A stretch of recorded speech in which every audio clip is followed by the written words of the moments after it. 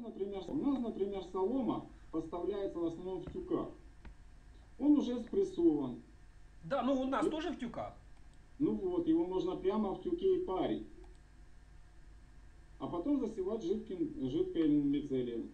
Вот. Э, Процесс прорастания, он очень хорошо складывается в штабелях.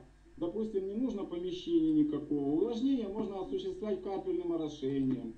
В общем, можно исключить многие-многие технологические операции. Вообще вешенка на технологичность, ты же знаешь. Ты понял, в чем идея?